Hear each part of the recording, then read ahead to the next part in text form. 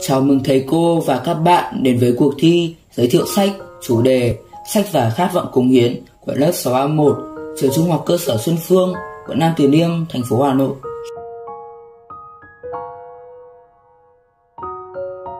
Tổng thống Barack Obama đã từng nói việc đọc rất quan trọng.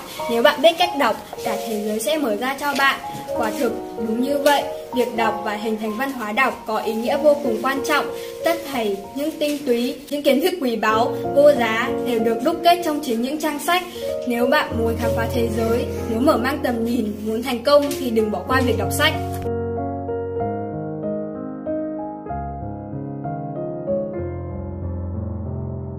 thân mến mỗi một cuốn sách hay chính là một người bạn tốt của các con sách sẽ nuôi dưỡng nuôi dưỡng tâm hồn thắp sáng ước mơ. Và đọc sách các con sẽ có cơ hội để làm chủ kiến thức của mình và nắm bắt được cơ hội thành công của mình sau này. Vì vậy các con hãy yêu sách đọc sách trân trọng sách và coi sách là người bạn của mình. Và hãy tận dụng tất cả những giá trị mà sách đem đến cho các con. Các con có đồng ý không? Có cảm ơn các con Đọc sách sẽ giúp chúng ta có những tri thức tuyệt vời và đem lại nguồn cảm hứng, khiến chúng ta tới đời sống tích cực, khơi dậy khát vọng cống hiến và phát triển đất nước.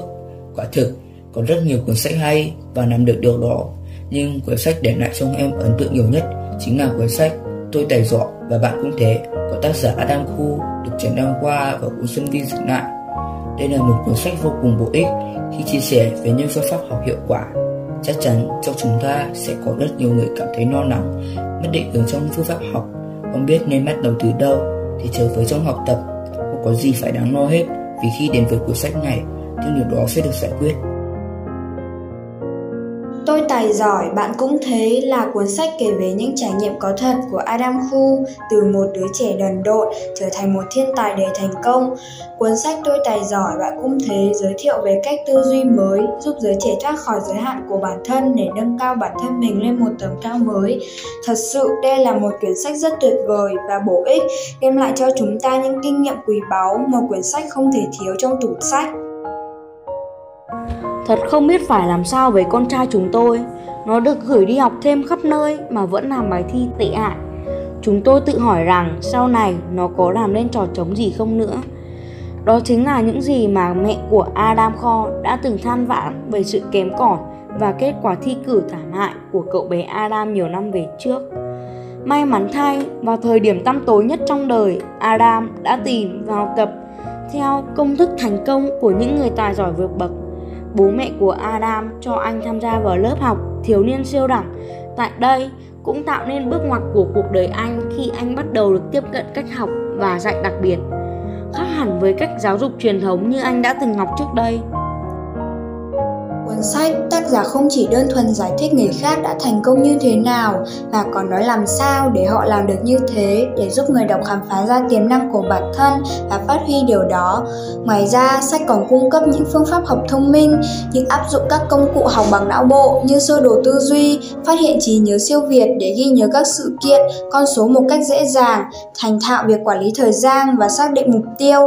Adam Khu đã cho thấy tài giỏi mang lại sự tự tin như thế nào và còn hướng dẫn bạn cách thức trở thành người tài giỏi. Qua đó, độc giả sẽ lập được kế hoạch cho cuộc đời của chính mình. Tôi tài giỏi, bạn cũng thế, sẽ giúp tìm ra giải pháp tốt nhất cho mọi vấn đề và giúp nhận ra cách thức để thành công. Tuy nhiên, để là một người tài giỏi thì người đọc cần đặt cuốn sách xuống và thực thi ngay các kế hoạch. Đương nhiên, không chỉ chăm chỉ ngày 1, ngày 2 mà mỗi người phải thực hiện lâu dài thậm chí cả đời thì mới đạt được những gì mình muốn. Tôi tài giỏi, bạn cũng thế, tổng hợp những kỹ năng và phương pháp đã mang tới thành công vượt bậc cho cậu bé Adam kém cỏi và dĩ nhiên bạn cũng có thể thành công như vậy. Quyển sách này dành cho các học sinh, sinh viên, các bậc phụ huynh, các nhà giáo và bất kỳ ai luôn mong muốn tăng cường khả năng tận dụng não bộ hoặc phát huy tối đa tiềm năng của mình. Nếu bạn muốn tài giỏi trong các phương pháp học tập và suy nghĩ vượt bậc, hãy đọc cuốn sách này, bạn sẽ học được cách tăng cường sự tự tin và làm chủ cuộc sống của bạn. Áp dụng các công cụ học bằng cả não bộ như sơ đồ tư duy. Phát huy trí nhớ siêu việt để nhớ lại các sự kiện con số một cách dễ dàng thành thạo việc quản lý thời gian và xác định mục tiêu mang lại khả năng đạt được thành tích cao nhất có thể. Áp dụng các phương pháp thi cử hiệu quả để chiến đấu và chiến thắng trong các kỳ thi quan trọng.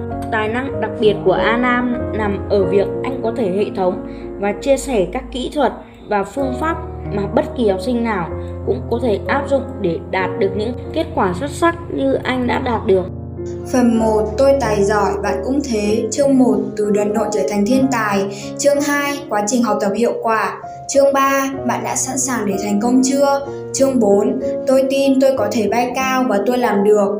Phần 2 những phương pháp học siêu đẳng. Chương 5 bạn sở hữu bộ não của một thiên tài. Chương 6 phương pháp đọc để nắm bắt thông tin. Chương 7 sơ đồ tư duy, công cụ ghi chú tối ưu. Chương 8 Chỉ nhớ siêu đẳng dành cho từ. Chương 9 Chỉ nhớ siêu đẳng dành cho số. Chương 10 mô hình trí nhớ. Chương 11 nghệ thuật ứng dụng lý thuyết vào thực hành. Phần 3 động lực cá nhân của bạn. Chương 12 dám mơ ước sức mạnh của mục tiêu. Chương 13 động lực mạnh mẽ vượt qua sự lười biếng. Chương 14 công thức để đạt điểm tuyệt đối. Chương 15 thời gian là tiền bạc. Chương 16 tạo quyết tâm mạnh mẽ tức thì. Phần 4 phương pháp thi cử. Chương 17 tăng tốc về đích. Chương 18 chiến thắng và vinh quang. Kính mời độc giả đón đọc cuốn sách Tôi tài giỏi và bạn cũng thế. Chúng tôi là người tài giỏi.